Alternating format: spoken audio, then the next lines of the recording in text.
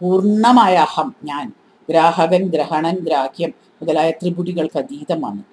ആകാശഗോളങ്ങൾ ഗ്രാഹ്യങ്ങളായ ഗ്രഹങ്ങളും ഭൂമിയിലിരുന്ന് അവയെ ഗ്രഹിക്കുന്ന മർത്യൻ ഗ്രാഹകനുമാണ്. ഈ ഗ്രാഹകമായ തമോഗ്രഹം മനുഷ്യൻ എന്ന ഭൂമിയിലെ ജീവി ബ്രഹ്മപ്രകാശത്തെ സ്വന്തം ബോധത്തിൽ ഗ്രഹിക്കുന്ന പ്രക്രിയയാണ് ഗ്രഹണം. ബ്രഹ്മവിത്ത് ഭൂമികയിൽ എത്തുമ്പോൾ ജീവൻ മുക്തി സംഭവിക്കും. തുരീയം വരെയുള്ള ഭൂമികകളിൽ എത്തി വിരക്തനായ വ്യക്തിയാണ് തുരീയ അത അതീതത്തിലേക്കുള്ള ഉപനയനത്തിന് ബ്രഹ്മവിദ് വരിഷ്ഠനായ ഒരു സവിധത്തിലേക്ക് എത്തുന്നത്. അദ്ദേഹത്തെ ഗുരു തുരീയ അതീതത്തിലെ മൂന്ന് ഘട്ടം കടത്തിവിട്ട് പൂർണ ബ്രഹ്മാനുഭൂതി കൊടുക്കുന്നു. ഏതാ തുരീയാതീതത്തിലെ മൂന്ന് ഘട്ടം? ബ്രഹ്മവിത്ത് ബ്രഹ്മവിത്ത് വരിയാൻ ബ്രഹ്മവിത്ത് വരിഷ്ഠ ഈ മൂന്ന് ഘട്ടം കടക്കാനാണ് ഇപ്പറഞ്ഞ പറഞ്ഞ അർത്ഥത്തിലുള്ള ഉപനയനം. ആശജ്ഞാനത്തിൽ നാലപ്പാട്ടൻ പറഞ്ഞ രീതിയിലുള്ള ശങ്കരൻ മുണ്ടകത്തിന്റെ ഭാഷത്തിൽ പറഞ്ഞ രീതിയിലുള്ള അർത്ഥത്തിലുള്ള ഉപനയനം. ആശജ്ഞാനത്തിന്റെ അവതാരികയ്ക്ക് ഗ്രന്ഥകാരൻ പേരിട്ടിരിക്കുന്ന ജ്ഞാനഭണ്ഡാരം എന്നാണ്. ഇതിന്റെ ആദ്യ വാചകം തന്നെ പ്രപഞ്ച പരിണാമത്തിന്റെ സവിസ്തര സ്വരൂപം അതായത് മനുഷ്യജ്ഞാനത്തിന്റെ പരിപൂർണത കുറിച്ചിടപ്പെട്ടിട്ടുള്ള വേദവിഭാഗങ്ങളെയും അവയുടെ സംഖ്യാതീതമായ അവാന്തര വിഭാഗങ്ങളെയും സ്മരിച്ചുകൊണ്ടാണ്. അനന്താശ്ച വേദ ശ്രൂയന്തേ എന്ന ശ്രുതിവാക്യം ഉദ്ധ- ഉദ്ധരിച്ചിട്ടുമുണ്ട്. പതിനഞ്ച് അധ്യായങ്ങളിലായി ഈ വിഭാഗങ്ങളുടെ എല്ലാം അതായത് അവാന്തര വിഭാഗങ്ങൾ ഉൾപ്പെടെയുള്ള എല്ലാ ഭാഗങ്ങളുടെയും സംക്ഷിപ്ത വിവരണം തന്നിരിക്കുന്നത് ഈ പ്രപഞ്ച പരിണാമത്തിന്റെ സവിസ്തര സ്വരൂപത്തിലേക്ക് ഏതെല്ലാം രീതിയിൽ ഏതെല്ലാം വിഭാഗങ്ങളിൽ കൂടെ ഏതെല്ലാം നോളജ് സിസ്റ്റത്തിൽ കൂടെ നമുക്ക് അപ്രോച്ച് ചെയ്യാൻ കഴിയും എന്നുള്ളതാണ് ഏത് കൂടെ മാർഗം ഏതായാലും എത്തിപ്പെടുന്ന ലക്ഷ്യം ഇതൊന്ന് തന്നെയാണ്. അപ്പൊ ആ മാർഗങ്ങളെല്ലാം പലർക്കുമായിട്ട് ഉപദേശിച്ചു കൊടുക്കുകയാണ്. പല ഗുണങ്ങളുള്ള പല വിധത്തിലുള്ള കഴിവുകളുള്ള ആളുകൾക്ക് ഇതൊക്കെ ഉപദേശിച്ചു കൊടുക്കുക എന്നേ അതിൽ അർത്ഥമുള്ളൂ. കവിക്ക് കവി എടുത്താൽ മതി. ജ്യോതിഷിക്ക് ജ്യോതിഷം എടുക്കാം. താന്ത്രികന് തന്ത്രം എടുക്കാം. അങ്ങനെ ആർക്കും അവനവന് പറ്റുന്നതൊക്കെ എടുക്കാം. ബുദ്ധമത ഗ്രന്ഥമായ ധർമ്മദീപികയിൽ നിന്നുള്ള ഒരു ഉദ്ധരണിയിൽ മാനസിക ലോകത്തിന്റെ അഞ്ചാം വിഭാഗത്തെ സർവശബ്ദങ്ങളുടെയും അധിദേവതയായ ഭരിക്കുന്നു അദ്ദേഹത്തിന്റെ കൊട്ടാരത്തിലുള്ളവരായ ബുദ്ധന്മാർ ശബ്ദങ്ങളെ എല്ലാം തേടിപ്പിടിച്ചുകൊണ്ട് ആകാശത്തിൽ സഞ്ചരിച്ചു വരുന്നു. ആത്മസാക്ഷാത്കാരം നേടിയ ഋഷിമാർക്കും പ്രജാപതിമാർക്കും ആ ശബ്ദഭണ്ഡാരം സ്വധർമ്മ നിർവഹണത്തിൽ പ്രയോജനപ്പെടാറുണ്ട്. വ്യാസാദികളായ ബ്രഹ്മജ്ഞാനികളും മഹർഷിമാരും ഭക്തിയോടുകൂടി ശുദ്ധിപൂർണങ്ങളായ വാക്കുകൾ കൊണ്ട് സ്വന്തം നിഷ്കളങ്ക ഹൃദയങ്ങളിൽ പ്രത്യക്ഷീഭവിക്കുന്ന പരബ്രഹ്മത്തെ വിവരിക്കുന്നു.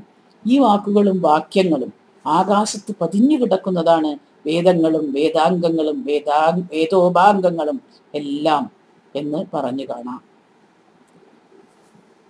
അപ്പോ ഈ ശബ്ദങ്ങളുടെ അതായത് ശബ്ദശാസ്ത്രത്തിന്റെ എല്ലാ ശാസ്ത്രീയമായ വശവും സെന്റൻസ് കൊണ്ട് പറഞ്ഞിട്ടുണ്ട്.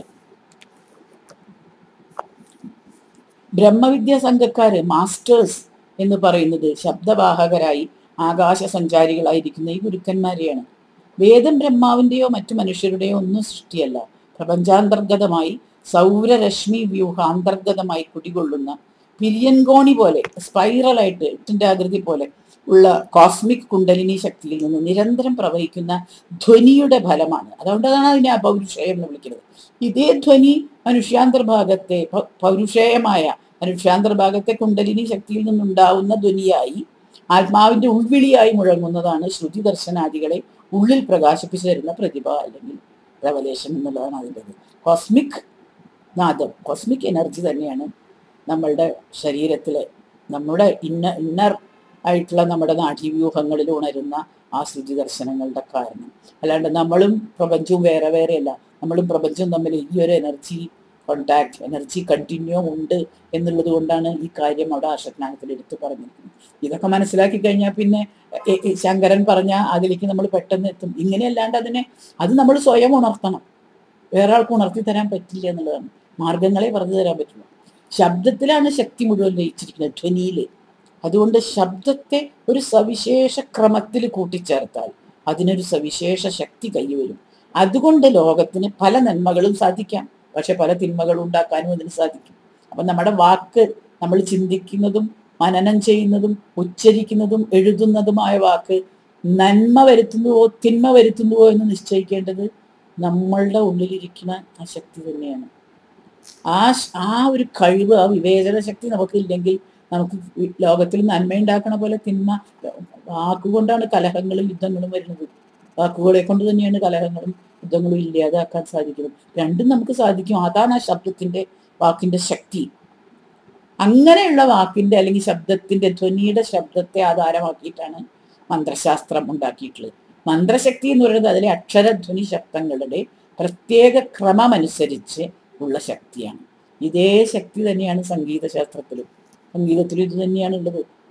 ആ ധ്വനിയുടെ അനുസരിച്ചുള്ള ആ ശബ്ദ ഉച്ചാരണത്തിന്റെ അനുസരിച്ചുള്ള ആ ശ്രുതിഭേദങ്ങളുടെ ആ ഏറ്റക്കുറവ് അനുസരിച്ചുള്ള ശക്തിയാണ് സ്വന്തം ഇച്ഛ കൊണ്ട് സ്വതന്ത്രമായി സ്വച്ഛന്തം ഛന്തസ്സുകളിൽ മന്ത്രം പാടി ശക്തിയെ ഉണർത്തുകയാണ് സാമവേദി ചെയ്യുന്നത്.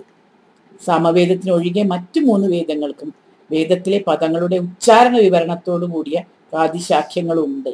പക്ഷേ സാമവേദത്തിൽ ഉച്ചാരണത്തെക്കാളേറെ സ്വരത്തിനും അതിന്റെ സ്ഥാനമനുസരിച്ചുള്ള തേജസ്സിനുമാണ് കൂടുതൽ പ്രാധാന്യം. ജി സുബ്ബറാവ് പറയുന്നത് വേദങ്ങളുടെ രണ്ട് സവിശേഷാർത്ഥങ്ങളിൽ ഒന്ന് വാക്കിന്റെ അടിസ്ഥാനത്തിലുള്ളതും രണ്ട് സ്വരത്തിന്റെ അടിസ്ഥാനത്തിലുള്ളതും ആണ് എന്നാണ്. കേരളത്തിന്റെ സമ്പ്രദായം കൂടുതൽ ഉച്ചാരണ പ്രാധാന്യം ഉള്ളതാണ്. സംഗീത സമ്പ്രദായമാണെങ്കിൽ കൂടുതൽ സ്വര സ്വരപ്രാധാന്യം ഉള്ളതാണ്. ഉപനിഷത്ത് ബ്രാഹ്മണത്തോട് കൂട്ടിച്ചേർത്താലേ ശ്രുതിയാവുള്ളൂ. എല്ലാ ശബ്ദവും ശ്രുതി തന്നെയാണെങ്കിലും പ്രപഞ്ച സൃഷ്ടി രീതി ഉപദേശിക്കുന്നതിനെ മാത്രമാണ് ഋഷിമാർ ശ്രുതിയായിട്ട് കണക്കാക്കുന്നത്. ഈ രീതിയെ പ്രതിപാദിക്കുന്നത് ഉപനിഷത്തും ബ്രാഹ്മണവുമാണ്. അതുകൊണ്ടാണ് അവയെ ശ്രുതിയായി കണക്കാക്കുന്നത്. അതായത് പ്രപഞ്ച സൃഷ്ടിയുടെ രഹസ്യം ഉപദേശിക്കുന്ന ശബ്ദങ്ങളെ ധ്വനികളെ ആണ് ശ്രുതിയായിട്ട് കണക്കാക്കുന്നത്. അതുകൊണ്ടാണ് അതിനോട് അടുപ്പിക്കുക എന്നുള്ള ആ ബ്രഹ്മവിദ്യക്ക് ആ ഒരർത്ഥം വന്നത്. ശബ്ദങ്ങൾ ആകാശ സംബന്ധികളാണ്. അവയ്ക്ക് രൂപമില്ല വർണമില്ല.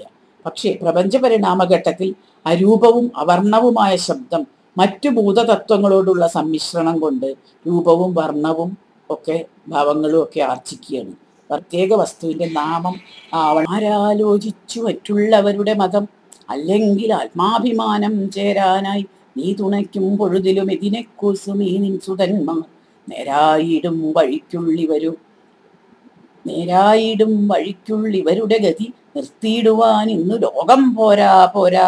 ഭയത്തെ കളയും ഉപനിഷത്തിന്റെ നാടിന്ത്യയാം നീ എന്ന ആദ്യകാലത്ത് ആയിരത്തി തൊള്ളായിരത്തി എട്ടിൽ മാതൃഭൂമി എന്നുള്ള കവിതയിൽ തലപ്പാട്ട് എഴുതിയിട്ടുണ്ട്. മറ്റുള്ളവരുടെ ധർമ്മം മറ്റുള്ളവരുടെ മതം അതായത് പരധർമ്മം ആരാണ് ആലോചിച്ച് വെറുതെ നേരം കളയുന്നത് സ്വധർമ്മ തൽപരരാണ് നിങ്ങളുടെ നിന്റെ മക്കൾ. നിന്റെ എന്ന് പറഞ്ഞാൽ ഇന്ത്യയുടെ മക്കൾ ഇന്ത്യക്കാർ സ്വധർമ്മ തൽപരരായ നിന്റെ മക്കൾ. മക്കൾക്ക് ആത്മാഭിമാനം തന്നിട്ട് നീ അമ്മ സഹായിക്കുമ്പോൾ ഞങ്ങൾ എന്തിനാ മറ്റുള്ളവരെ കുറിച്ചൊക്കെ ആലോചിക്കുന്നത് അവരെ ഭയപ്പെടുന്നതും എന്തിനാ? ഇന്ന് ഞങ്ങൾ സഞ്ചരിക്കുന്ന നേരായ ഋജുവായ ആ പാതയിലൂടെയുള്ള ഞങ്ങളുടെ ഗതി മുടക്കാൻ ഇപ്പോഴത്തെ ഈ ലോകം ഈ ആധുനിക ലോകം ഒന്നും പോരാ പോരാ. എന്തുകൊണ്ട്? അഭയം വരുത്തുന്ന ഭയം കളയുന്ന അഭയം വരുത്തുന്ന ഉപനിഷത്തിന്റെ നാടായ ഇന്ത്യയാണ് നീ നീ. അതുകൊണ്ട് ഈ ലോകമൊന്നും ഞങ്ങളെ പേടിപ്പെടുത്താൻ പോരാന്ന്. ഞങ്ങളെ ഭയപ്പെടുത്താൻ ഈ അഭയത്തിന്റെ സന്ദേശമുള്ള ഉപനിഷത്തുള്ളപ്പോൾ ഈ ലോകമൊന്നും പോരാ ഞങ്ങളെ പേടിപ്പെടുത്താനില്ല. അങ്ങനെ ഉപനിഷത്ത് പൈതൃകത്തെ സ്വാംശീകരിച്ച് ജീവിച്ച് അതിന്റെ അനുഭൂതി തന്റെ ശിഷ്യർക്ക് തന്റെ സന്ദർശകർക്ക് തന്റെ ചുറ്റുപാടുമുള്ള സ്ത്രീകളും കുട്ടികളും അടക്കമുള്ള ഇവൻ അക്ഷരാഭ്യാസം ഇല്ലാത്ത ആളുകൾക്ക് പോലും പകർന്നു നൽകാൻ ശ്രമിച്ച വ്യക്തിയായിരുന്നു ഒരു ഋഷി കവി തന്നെയായിരുന്നു നാലപ്പാട്ട്. അദ്ദേഹത്തിന്റെ ബ്രഹ്മവിദ്യയിലേക്കുള്ള ഒരു ഉപനയന മാർഗം മാത്രമാണ് ആർഷജ്ഞാനം. അതായത് പലർക്കും പല രീതിയിലെ ബ്രഹ്മത്തെ അപ്രോച്ച് ചെയ്യാനുള്ള ഡിഫറെന്റ് മാർഗങ്ങൾ ഉള്ള ഒരു ഉപനയന മാർഗമാണ് ആർഷജ്ഞാനം.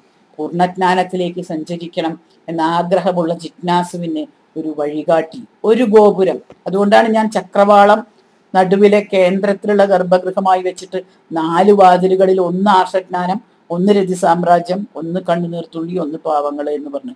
നിങ്ങൾ ഏത് വഴി തിരഞ്ഞെടുക്കുന്നു എന്നുള്ളത് നിങ്ങളുടെ വ്യക്തിത്വത്തിനനുസരിച്ചിരിക്കും ഞാൻ പാവങ്ങളാണോ കണ്ണുനീർ തുള്ളിയാണോ ആശജ്ഞാനാണോ രതി സാമ്രാജ്യമാണോ അദ്ദേഹത്തിന്റെ മനസ്സിലേക്ക് കടക്കാൻ?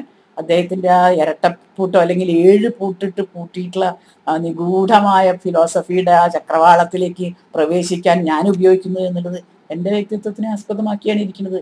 അദ്ദേഹത്തിന്റെ വ്യക്തിത്വത്തെ അല്ല കാരണം അദ്ദേഹത്തിന് വളരെ ബഹുമുഖമായ പ്രതിഭയുള്ള ആളാണ്. ഒരു പ്രതിഭയുള്ള ആൾക്ക് ഒരു വാതിൽ മതി. ബഹുമുഖ പ്രതിഭയുള്ളവർക്ക് ഏത് വാതിൽ കൂടിയും കടക്കാം. എവിടെ ചെന്നാലും എത്തണം തന്നെയാണ് അതാണ് ആശ്വജ്ഞാനത്തിന് ഞാൻ കാണുന്ന ഒരു ഒരു പ്രസക്തി. അതൊരു വാതിലാണ് ഒരു താക്കോലാണ്. ആ ബ്രഹ്മത്തിന്റെ സത്യത്തിലേക്ക് എത്താനുള്ള ആശ്വജ്ഞാനം എന്ന് പറഞ്ഞ വഴിയിലൂടെ നിങ്ങൾ കടക്കണമോ?